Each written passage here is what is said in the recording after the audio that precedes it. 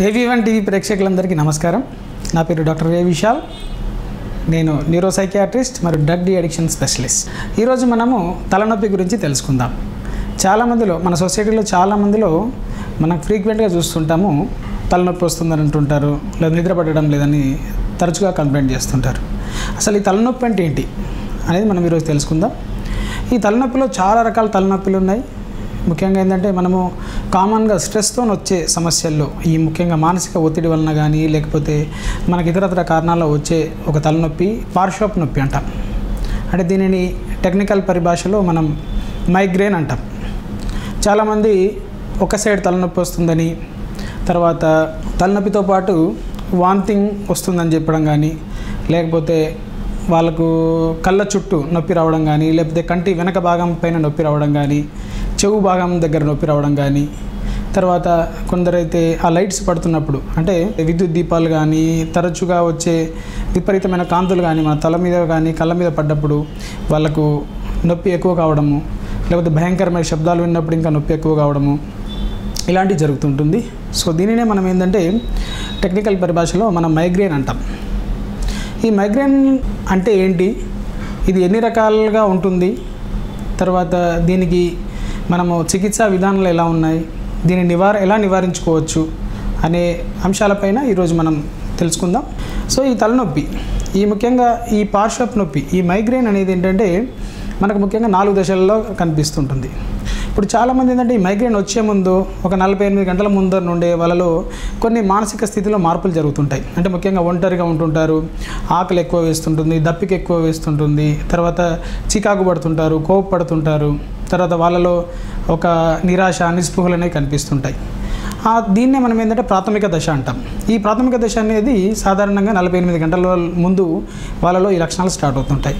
తర్వాత ఈ ప్రాథమిక దశ నుండి ఏంటంటే వీళ్ళు ఆరా అంటాం. అంటే ఆరా అంటే ఆరా దశ అంటే ఈ దశలో ఏంటంటే వాళ్ళకు కొన్ని ఫీలింగ్స్ వస్తుంటాయి. అంటే ఎట్లా అంటే వాళ్ళ తలపైన ఏదో సూదులతో గుచ్చుతున్నట్లు లేకపోతే తలపైన తిమిర్లు వస్తున్నట్లు లేకపోతే మంటలు పోట్లు తర్వాత వాళ్ళకు రంగురంగుల వలయాలు కనిపిస్తున్నట్లు లేకపోతే తలనొప్పి తీవ్రంగా ఉంటున్నట్టు వాళ్ళకు అనిపిస్తుంటుంది.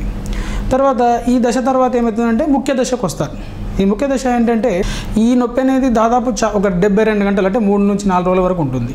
సో ఈ దశలో ఏంటంటే మనం ఇందాక చెప్పుకున్నట్లు తలపైన మంటలు పోట్లు సూదులతో గుచ్చినట్లు ఉండడంతో పాటు వాళ్ళకి ఏంటంటే తలనొప్పిలో తలనొప్పితో పాటు వామిటింగ్స్ రావడము వామిటింగ్స్ వస్తున్నట్టు ఫీలింగ్స్ రావడము శబ్దాలు వింటే ఇంకా నొప్పి ఎక్కువ రావడము తర్వాత వాళ్ళలో మానసికంగా కొన్ని మార్పులు జరిగి చిరాకు పడడము కోపపడము తర్వాత భరించలేని నొప్పి అనేది ఉంటుంటుంది. తర్వాత చివరి దశ ఏంటంటే ఒక మూడు నాలుగు రోజుల తర్వాత ఎండింగ్ దశ. అంటే అది కంప్లీట్గా క్యూర్ అవుతుంది దీన్ని పోస్ట్ నార్మల్ అంటాము. అంటే ఈ దశ తర్వాత ఏమవుతుందంటే వాళ్ళు రిలాక్స్ అయిపోతారు. అంటే కానీ ఈ మైగ్రేన్ అనేది తరచుగా ఆన్ అండ్ ఆఫ్ అంటే వస్తుంటుంది పోతుంటుంది వస్తుంటుంది పోతుంటుంది. సో ఈ మైగ్రేన్ ముఖ్యంగా ఎందుకు జరుగుతుంది? ఈ మైగ్రేన్ అనేది రావడానికి ముఖ్యమైన కారణం ఏంటంటే మన మెదడులో కొన్ని జీవరసాయనాలు ఉంటాయి. ఈ జీవరసాయనాలు ఏంటంటే మనకు జీవక్రియలు సరిగా జరగడానికి మనకు తోడ్పడతాయి. కొన్నిసార్లు ఏమవుతుందంటే ఈ మానసిక ఒత్తిడి వలన కానీ సరిగా నిద్ర పట్టనప్పుడు కానీ లేకపోతే ఆల్కహాల్ కానీ స్మోకింగ్ కానీ లేకపోతే ఏంటంటే విపరీతమైన శబ్దాలు విన్నప్పుడు కానీ కొందరు ఘాటైన వాసనలు. ఇప్పుడు మనకు బయటకు వెళ్ళినప్పుడు కొన్ని అత్తర్లు కానీ లేకపోతే ఘాటైన కొన్ని వాసనలు చూసినప్పుడు కానీ లేకపోతే కొందరు ఏంటంటే ఉపవాసం ఉంటుంటారు. తరచుగా ఏంటంటే ఫాస్టింగ్ చేస్తుంటారు. దానివల్ల కానీ నిల్వ ఉంచిన పదార్థాలు కానీ తర్వాత ఈ కొన్ని పదార్థాలలో ఏంటంటే ఈ స్మోక్డ్ ఫిష్ అంటాం. చేపని కాల్చి తింటుంటారు కొందరు. తర్వాత కొందరు చికెన్లో లివర్ ఎక్కువ తీసుకున్నా కానీ చాక్లెట్స్ ఎక్కువ తీసుకున్నా కానీ ఈ పీనట్ బటర్ ఎక్కువ తీసుకున్నా కానీ లేకపోతే కొన్ని పండ్లు ముఖ్యంగా అత్తి పండ్లు కానీ తర్వాత అరటి పండ్లు కానీ తర్వాత కొన్ని రకాల స్వీట్స్ కానీ లేకపోతే కొన్ని రకాల శబ్దాలు అతిగా విన్నప్పుడు కానీ ఈ ఒత్తిళ్ళ వలన ముఖ్యంగా ఏంటంటే సరిగా నిద్రపోనప్పుడు కానీ ఇంకా మనకేంటంటే కొందరు ఏంటంటే ఈ ఋతుచక్రంలో ముఖ్యంగా ఏంటంటే ఆడవాళ్ళలో ఈ మనకు బహిష్ట జరిగినప్పుడు అరుదు చక్రంలో కొన్ని శరీరంలో రసాయన మార్పుల వల్ల కానీ కొన్ని హార్మోనల్ సమస్య వలన కానీ లేకపోతే కొన్నిసార్లు ఏంటంటే మనకు ఈ ఇతరత్ర సమస్యల వలన కానీ మనకు ఈ మైగ్రేన్ అనేది ట్రిగ్గర్ కావడానికి అంటే ట్రిగ్గర్స్ అంటాం వీటిని. పెరగడానికి అవకాశం ఉంటుంది. ఈ సమస్యల వలన ఏమవుతుందంటే మన మెదడులో కొన్ని రసాయన మార్పులు జరుగుతాయి. రసాయన మార్పులు అంటే ఉద్రేకపరిచే రసాయనాలు పెరిగి మన నర్వ్స్ పైన ఒత్తిడి కలిగించి వాళ్ళ తలనొప్పిని అనేది అగ్రవేట్ చేస్తుంటుంది. సో కాబట్టి ఈ మైగ్రేన్ అనేది మనం ఎలా నివారించాలి? ఈ మైగ్రేన్ అనేది వచ్చి నివారించాలంటే మనం కొన్ని జాగ్రత్తలు తీసుకోవాలి. చాలామంది ఏం చేస్తుంటారంటే ఈ మైగ్రేన్ రాగానే తరచుగా పెయిన్ కిల్లర్స్ వాడడం కానీ లేకపోతే ఏదో ఒక ట్రీట్మెంట్ తీసుకోవడం కానీ చేస్తుంటారు. అది మంచిది కాదు. సో కంపల్సరీ మీరు ఏంటంటే డాక్టర్ని సంప్రదించి సైకాట్రిస్ట్ని సంప్రదించినట్లయితే మీకేంటంటే ఈ ఒత్తిళ్ళు అంటే మనకి ఎక్కడ టెన్షన్ అనేది పెరుగుతుంది. అంటే మానసిక ఒత్తిడి ఉరుకుల పరుగుల జీవితంలో ఈ నిద్ర సరిగా పట్టకపోవడం కానీ లేకపోతే మనకు టెన్షన్ వల్ల కానీ లేకపోతే ఇంకోటి అతరత్ర కారణాల వల్ల కానీ మీకు ఈ సమస్య రావడానికి అవకాశం ఉంటుంది కాబట్టి సో దీనివల్ల మీరు కల్ డాక్టర్ని కలిసినట్లయితే మీకు కొన్ని చికిత్సా మార్గాలు చెప్పడం జరుగుతుంటుంది. అంటే మనం ఫస్ట్ చికిత్స కంటే వెళ్ళే ముందు కొన్ని నివారణ మార్గాలు ఇంపార్టెంట్. నివారణ మార్గాలంటే మనము వేలకు పడుకోవడం అంటే సమయానికి పడుకోవడము సమయానికి లేవడం చేసినట్లయితే మన శరీరంలోని మన మెదడులోని జీవ గడియారం అనేది ప్రాపర్గా మెయింటైన్ కావడం జరుగుతుంది. తర్వాత మనము తీసుకున్న ఆహార పదార్థాలు ముఖ్యంగా చాలామంది ఫాస్టింగ్స్ ఉంటారు.